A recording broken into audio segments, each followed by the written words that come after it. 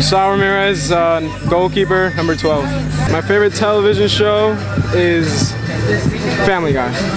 Best and worst part, it's probably waking up early.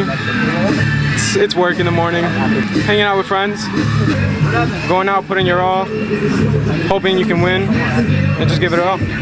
Person I look up to is my mom, because she's always been there for me, always around, helps me out with anything, uh, any problems.